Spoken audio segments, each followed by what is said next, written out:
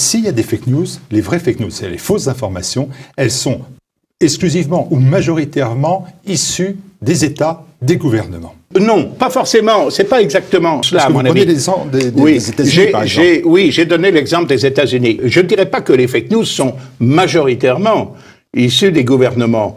Certainement, il y a des fausses nouvelles bon, qui se trimballent, euh, comme on dit, sur les réseaux sociaux. Bon, mais quand ça émane de particuliers, etc., ça n'est pas très grave. Quand ça émane de gouvernement, alors quand ça émane de gouvernement, Là, c'est gravissime, évidemment, parce que c'est généralement pour justifier des politiques, parfois pour justifier des politiques euh, belliqueuses, et parce que, évidemment, les citoyens, surtout dans les pays démocratiques, ou prétendus tels, sont portés à croire que ce que dit le gouvernement, surtout ce qu'il affirme avec solennité, éventuellement dans un contexte de crise internationale, c'est forcément la vérité. Et alors là, ça peut avoir des conséquences redoutables. Alors j'en ai donné. Les États-Unis, six mensonges pour six entrées en guerre. Voilà les. Oui, oui, j'ai eu l'occasion de dire ça un jour, il y a quelques années, à une émission sur le complotisme, arbitrée par Monsieur Franz-Olivier Gisbert, où j'étais en quelque sorte le complotiste de service, très vigoureusement attaqué par tous les autres, y compris par Madame Mazarine Pinjot, fille de Feu François Mitterrand. Alors, j'avais donné cet exemple que d'ailleurs l'historien Alexandre Adler qui n'est pas euh, temps en faux de nos amis politiques, mais n'a pas démenti de façon assez honnête. Alors je les reprends très brièvement. Les États-Unis sont entrés en, guerre six fois en un peu plus d'un siècle, six fois sur la base d'un mensonge d'État. Alors, je dis tout de suite, je suis pas l'ennemi des États-Unis. Je salue le sacrifice des jeunes Américains qui sont tombés pour le débarquement, euh, par exemple, ou autre. Mais c'est un fait. Et c'est un fait qui doit évidemment nous inquiéter. Premier mensonge, 1898, la guerre que les États-Unis déclenchent contre l'Espagne qui leur permettra de mettre la main sur Cuba, sur les Philippines, etc., pendant des décennies. Le, prétexte de cette guerre, c'est l'explosion dans la baie de La Havane, alors que Cuba est alors colonie espagnole, d'un cuirassé américain, le cuirassé Le Maine. On dira que cette explosion a été délibérément provoquée par une mine espagnole. Aujourd'hui, on sait qu'elle est vraisemblablement d'origine accidentelle. En tout cas, la responsabilité de l'Espagne n'est en aucune façon établie. Ça, c'est la première. Deuxième mensonge, si j'ose dire, là qui a tourné à notre avantage, là encore, tant mieux d'une certaine façon, mais tout de même, c'est l'entrée en, en, guerre en 1914, Première Guerre mondiale. Le président Wilson a été élu sur un programme ultra pacifiste. Il s'est engagé à ne pas faire la guerre. Son slogan, c'est WWWW. Wilson wins without war. Wilson gagne sans guerre. Bon. Et il va finalement entraîner les États-Unis dans la guerre, ce qui nous aidera à gagner, mais il imposera ensuite des conditions désastreuses lors du traité de Versailles que les États-Unis ne ratifieront pas, ils laisseront la SDN aller à sa fin. Bon. C'est le torpillage du Lusitania un paquebot qui va des États-Unis en Grande-Bretagne. Les États-Unis sont neutres à l'époque. Le paquebot est torpillé par un sous-marin allemand. On dira c'est abominable, il y aura plus de 1200 victimes civiles. Ça a été euh, affreux, évidemment. Mais l'Allemagne avait décrété le blocus de la Grande-Bretagne. Euh, donc euh, ce paquebot, en quelque sorte, enfreignait le blocus. Mais surtout, ce paquebot qui a été présenté comme un inoffensif navire civil transportant des femmes, des enfants, des vieillards, transportait aussi 4000 caisses d'obus et 4000 caisses de, de balles. C'est absolument prouvé aujourd'hui, c'est parfaitement documenté. Les plongeurs sont allés sur place, les documents ont été révélés même par l'amirauté britannique en 1972, bon, 60 euh, ans après les faits. Alors, troisième mensonge, ben, écoutez, c'est Pearl Harbor. Parce que Pearl Harbor, on dit c'est abominable, c'est affreux. Les Japonais, que je ne défends pas, je les aime beaucoup, mais ils ont été abominables en Chine aussi. Hein. Euh, mais les Japonais ont attaqué sans déclaration de guerre. Bon, sauf que Roosevelt, lui aussi élu sur un programme pacifiste, théoriquement. Je n'ai jamais, je n'entrerai en guerre. Bon, alors les Américains votent massivement pour lui. Il n'a de cesse que de précipiter les États-Unis dans la guerre. Bon, et notamment, il décrète le blocus du pétrole à destination du Japon. Le Japon, il a deux mois soit pour attaquer, soit pour capituler. Les États-Unis sont parfaitement au courant et ils proposent au Japon des conditions dont ils savent très bien que le Japon ne peut pas les accepter. délibérément. Les ambassadeurs japonais qui sont venus pour essayer de sauver la paix sont sidérés. Ils disent, mais ce que vous nous proposez, c'est un ultimatum. Écoutez, c'est à prendre ou à laisser. Bon. De surcroît, les États-Unis ont percé le code secret japonais. Ça, c'est assez remarquable. Hein euh, assez remarquable. Parce que moi, j'ai été officier de marine interprète et du chiffre, je peux vous dire que c'est... Bon. La, veille de, de, Pearl ils savent que l'ambassade a reçu l'ordre de détruire ces documents. Ce qui veut dire que les ambassadeurs vont devoir quitter l'ambassade et donc que la guerre va est éclatée. Et on va les faire poireauter le temps que l'attaque ait lieu, avant que la déclaration de guerre n'arrive une heure ou deux, avant que la déclaration de guerre n'arrive en bonne et due forme, ce qui permettra à Roosevelt de dire ce jour est un jour d'infamie, restera dans l'histoire comme tel, et de mobiliser les États-Unis. Alors après ça, vous avez eu un incident du golfe du Tonkin. J'étais partisan, moi, de soutenir les États-Unis, de soutenir surtout le Sud-Vietnam contre le Nord, le Nord communiste qui attaquait le Sud-Vietnam, mais on sait aujourd'hui que cet incident du golfe du Tonkin qui a permis d'augmenter l'implication des Américains est totalement fabriqué toute pièce par les États-Unis. Et puis enfin les deux guerres du Golfe.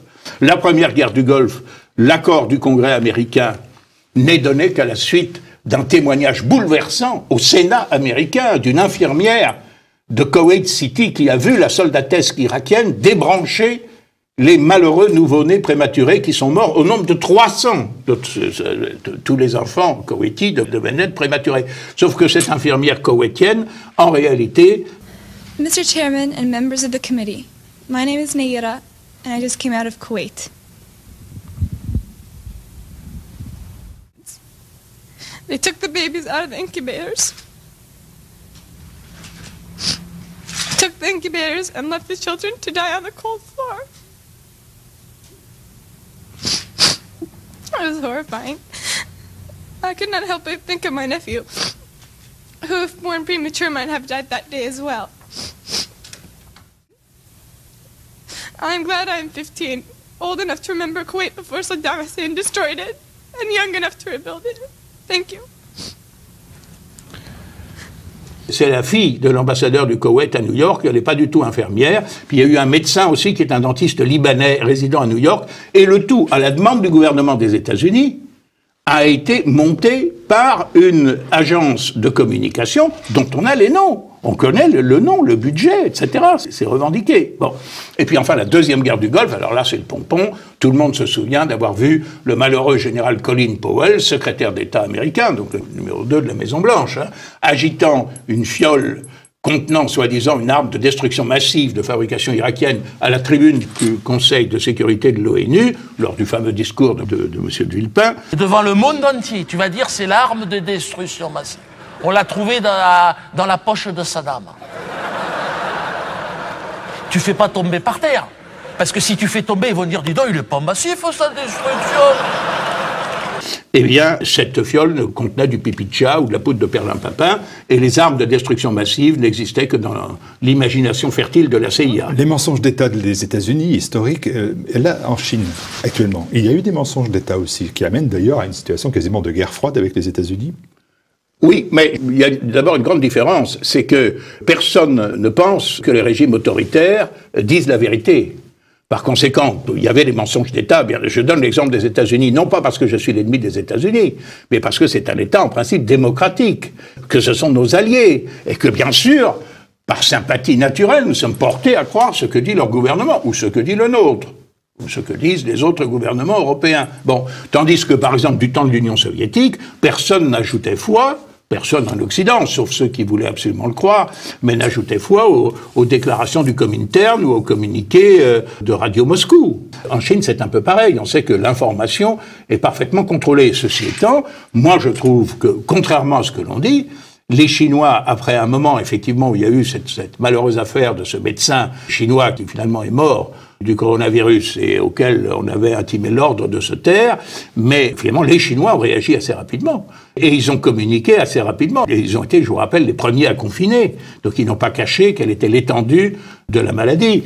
Et euh, est-ce que le virus s'est échappé d'un laboratoire, ce fameux laboratoire P4, c'est-à-dire un laboratoire spécialement conçu pour abriter des gènes extrêmement dangereux. Bon, euh, et des strass. Il se trouve à Wuhan, qui a été inauguré en grande pompe. avec Monsieur Raffarin, avec euh, représentant du gouvernement socialiste, euh, Monsieur Monsieur Lévy de Linserm, qui est le mari de Madame euh, Buzine, etc. Hein, c'est avec la collaboration de la France.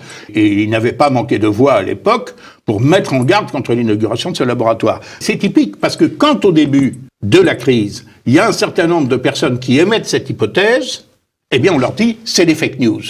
Et puis à un moment, on s'aperçoit Monsieur Trump, Monsieur Macron lui-même, Monsieur Macron dit de façon un peu sibylline, mais les Chinois ne nous ont pas dit la vérité. Et maintenant, cette fuite acquiert la force d'une vérité révélée, alors qu'on n'a pas plus de preuves dans un sens que dans l'autre, à mon avis, pour le moment. Oui, on dit qu'Emmanuel Macron, vous pensez qu'en mettant la responsabilité sur les Chinois, ça lui permet d'avoir moins de responsabilité dans l'attitude qu'il a eue Ben, en France Trump aussi. Je ne suis pas du tout, au, au contraire, un adversaire du président Trump. hein. Je me suis réjoui de son élection.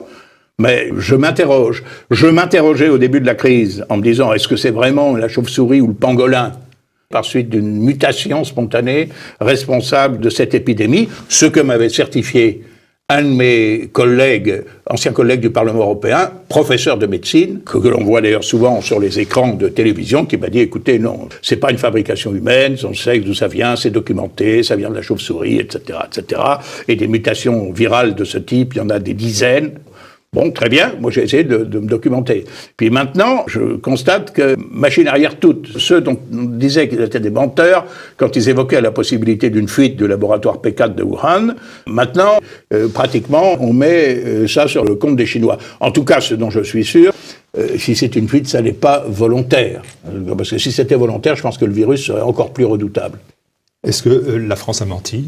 Est-ce qu'il y a des mensonges d'État de la France Ah pendant oui, les deux mois de confinement? Bien sûr, oui. Les mensonges d'État, ça n'a pas... Parce que c'est une démocratie, c'est pas un régime autoritaire. la Non, c'est une démocratie, mais c'est les mensonges d'État venant des démocraties sont beaucoup plus redoutables que les autres. Ça en fait une tyrannie. Parce que, ah ben, euh, je dois dire que si vous ajoutez, si vous voulez, la succession des lois liberticides, euh, dont les gens ne sont pas conscients, parce que, bon, euh, l'homme de la ou la femme de la rue, ils n'ont pas euh, accès euh, aux médias, à l'expression, ils n'écrivent pas dans les journaux, etc. Mais, euh, en revanche, ce dont ils ne se rendent pas compte, que c'est un véritable carcan autour du discours public et que par conséquent, une grande partie de la réalité de leur pays leur est masquée. Bon, quand vous voyez qu'un homme comme Éric Zemmour a été condamné pour ce qu'il a dit, par exemple, euh, pourquoi est-ce qu'il y a des contrôles aux faciès? Ben Parce que euh, l'origine des, des trafiquants de drogue, etc., c'est généralement ceci ou cela. Ah, boum Voilà. Donc, donc peu importe d'ailleurs que vous disiez la vérité ou pas, votre discours est susceptible d'inspirer la haine,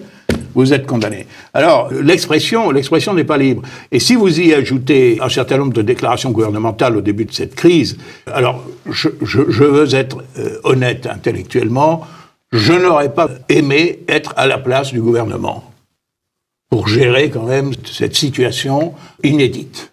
Et je vais même me faire un aveu, Madame Bachelot, contre laquelle j'ai certains griefs, y compris dans le personnel. Madame Bachelot, qui s'était montrée très désireuse d'ailleurs de limiter ma liberté d'expression quand j'ai moi-même été persécuté, mais que l'on a beaucoup brocardé quand elle avait euh, commandé des millions de vaccins, etc. Cette affaire-là réhabilite un peu euh, toute sa gestion. Donc je reconnais que la gestion publique est difficile. Mais, euh, par exemple, sur les masques, c'était incroyable ce mensonge sur les masques. Un enfant de 12 ans comprend qu'à partir du moment où on dit ben, ce sont les excrétions, les particules qui sortent de, de votre bouche qui sont le premier vecteur de la maladie, ben, vous mettez n'importe quoi.